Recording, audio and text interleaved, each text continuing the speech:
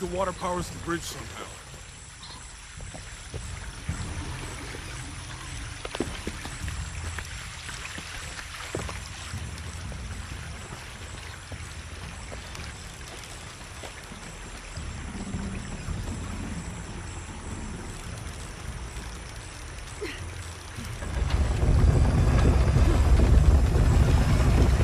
The water's filling the bucket. Good.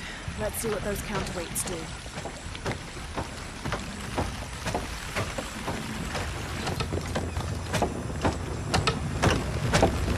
Ugh, the bucket's leaking.